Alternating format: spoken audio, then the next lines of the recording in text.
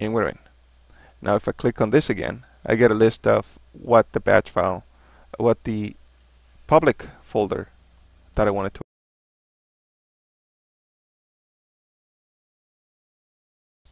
Hello everybody, this is Joel from IT Techs once again. Here in this video we're going to be showing you how to create a network map drive from this computer and also we want to make sure that this map drive is always log uh, is always on after right after logon. We don't want to have to tell the user or or have the user go through anything to get this map drive working. So here we go.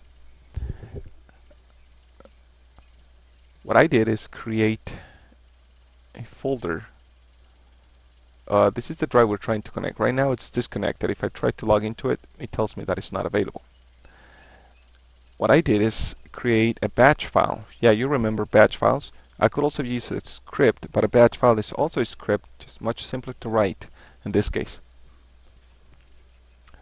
So what I did is create a batch file called that sdrive.bat and copied it to the startup folder of the profile that I wanted to have an S drive connected, uh, the S drive to appear on.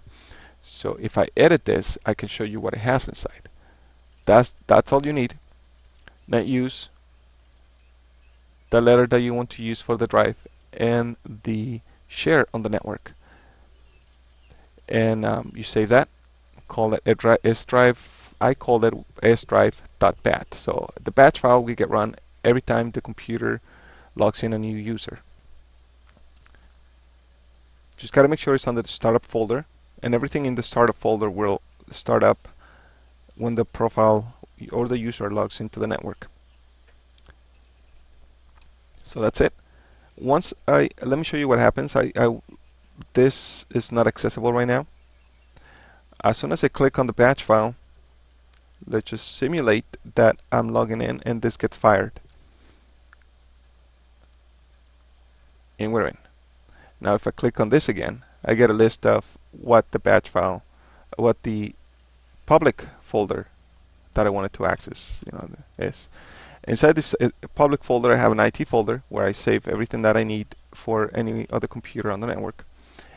And I call a, a folder called I made a folder called network scripts where I placed a copy of the batch file.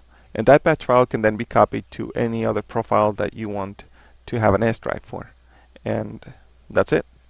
If you have any questions, give us a call 705 area code 760-705-4735.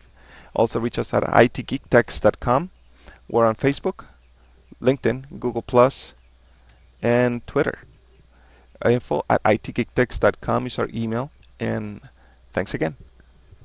We'll see you on the next video. Make sure to leave a comment, like, and share our video. That helps us a lot.